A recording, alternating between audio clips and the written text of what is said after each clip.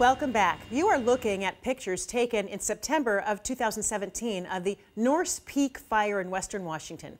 Tonight, we're going to take you into that fire zone and find out why it's an opportunity to figure out our west side fire future. So, what is the science behind our fires? Here's a hint they're different than the mm-hmm. fires that you see more often on the east side of the mountains and beyond. King 5's Glenn Farley is here tonight with a look at the science of West Side fires and how climate change is already affecting the odds of having one. Glenn, good evening. So, so good evening. Here is a graphic that sort of has everybody worried. This from the National Interagency Fire Center. This is the fire outlook for Washington and for the U.S. And here's the key concern. Western Washington, Western Oregon are red for higher than above normal, higher than normal expectation of wildfires. And while we've seen a number of wildfires, almost 300 on this side of the state so far, they have not been huge. The question now, will this red area contain a huge fire before this season is over?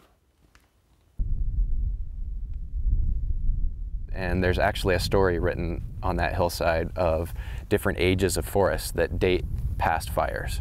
Dan Donato looks at the trees to interpret this forest story. And you can read that on the hillsides in the background there. He does that by describing the trees that replace those lost to wildfire over the centuries. And there's kind of a more even texture down near the bottom there of Christmas tree shaped uh, shorter trees, and that dates a fire from about 100 plus years ago. And then there's areas of taller, more rough canopied trees uh, that date another fire that occurred about 300 years ago and closest to us, the most recent stand to burn. It's caught just about everybody by surprise, the fire.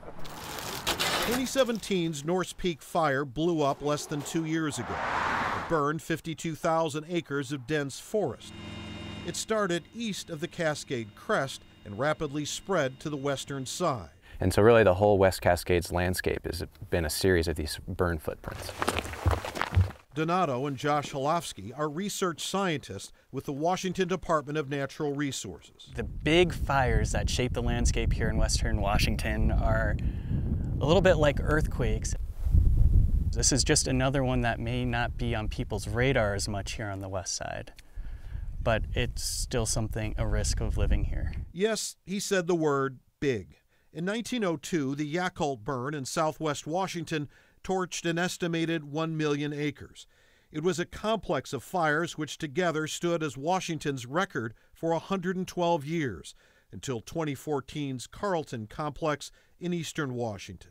But it was also the Yacolt burn's behavior that's sobering. At one point, the Yacolt burn traveled 30 miles in a 36 hour period. You may live on the wetter west side, but that may sound more fire safe than it is. It also means more stuff grows to become fuel. West Side summers dry much of that out. But there's another common and seemingly necessary ingredient to get a big West Side fire dry winds from the east. That's what we really want to look at change in the potential of getting that perfect setup. Crystal Raymond is with the University of Washington's Climate Impacts Group. She says to get a big Western Washington fire is like a recipe. Yacolt may have been a record holder, but there have been plenty of other examples, and not all of them huge. You need low relative humidity, you need east winds. So, a uh, condition in which the dry, warm air comes from the eastern part of the state and into western Washington, and then you need an ignition. The Norse Peak fire happened north of Mount Rainier. In fact, it even threatened the Crystal Mountain Ski Resort. And it was a classic setup with hot, dry winds coming out of the east behind me. The past can also provide clues to our future. This core taken from a tree killed in the Norse Peak fire. A burned landscape now serving as a laboratory. Just by a quick visual estimate, looks like somewhere around 300 years is probably pretty accurate. This tree at the upper elevation of that three century old stand Donato spoke of earlier. There are two areas of concern. One, will climate change lead to more giant fires? Two, will we see more smaller to mid sized fires, Norse Peak size fires? If we think about climate projections, all the projections are fairly consistent that our summers will be warmer and drier. We have already seen an increase in the number of days per year with high fire potential. And Raymond says our west side situation in Washington and Oregon is different than the western U.S. in general. Because most of the information we know about saying climate change will increase the potential for a wildfire in the West is based on this notion that warmer temperatures, drier conditions result in more fire. We know it takes a little bit more unique conditions in Western Washington, and so that's the piece we want to fill in that unique weather recipe that we need here in Western Washington to get a big fire. Those strong, hot east winds. That's when you can get a really large fire in a very short amount of time.